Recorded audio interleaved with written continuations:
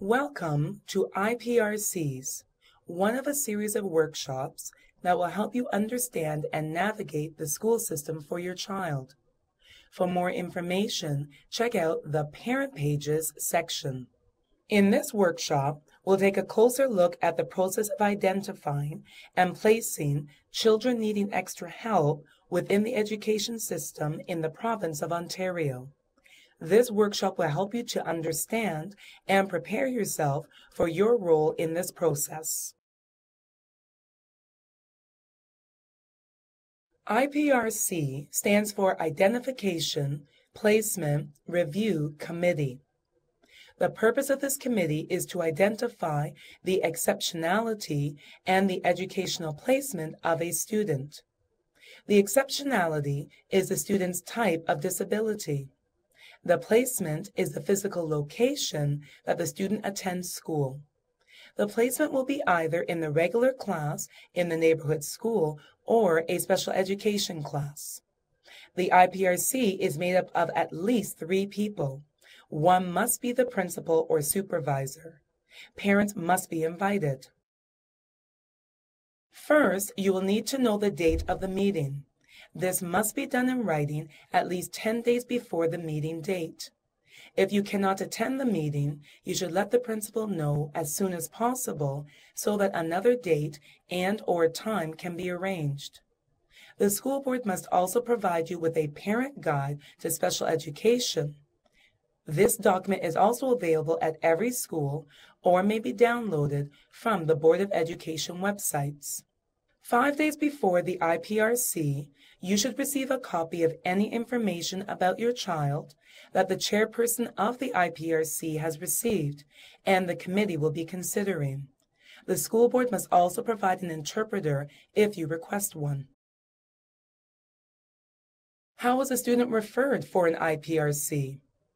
Your child may be referred for an IPRC by the school principal when school staff believe your child will benefit from a special education program or supports. However, you may ask that your child be referred to an IPRC by making that request in writing to the school principal. The principal must honor this request and respond within 15 school days, giving you an approximate date for the IPRC. As a parent or guardian of a child referred for an IPRC, it is important to know your rights.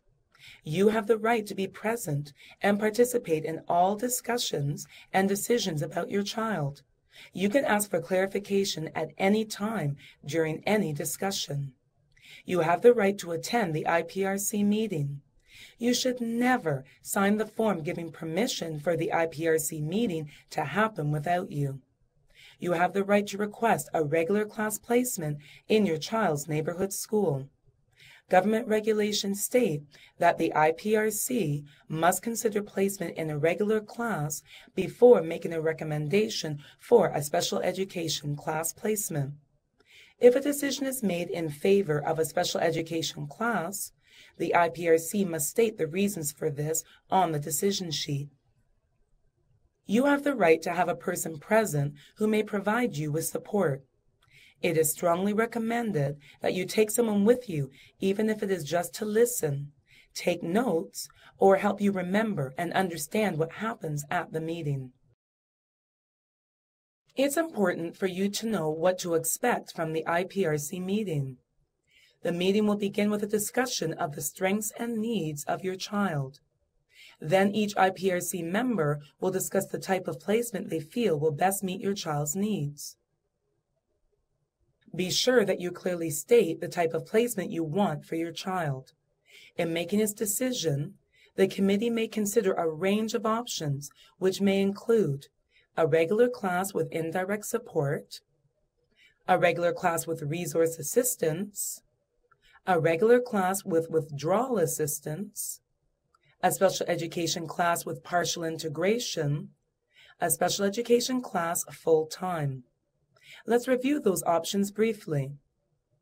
In a regular class with indirect support, the student is placed in a regular class for the entire day, and the teacher receives support from specialized school board consultants.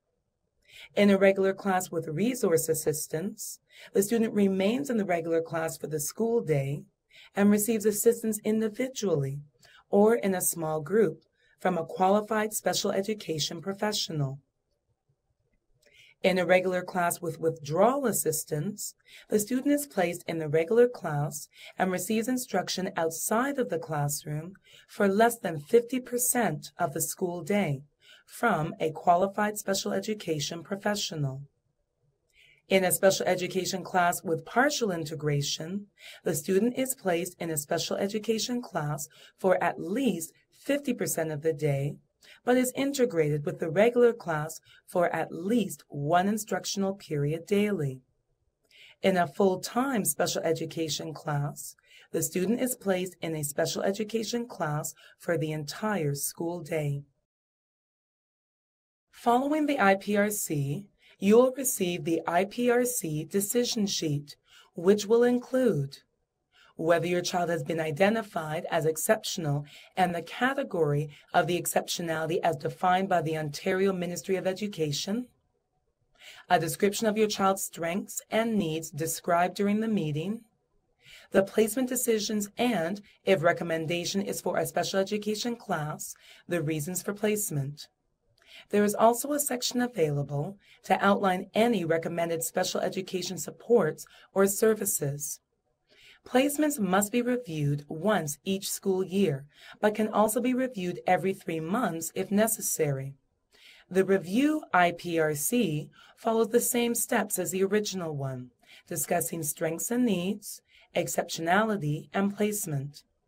The review IPRC will also include a discussion of the achievements that occurred during that school year.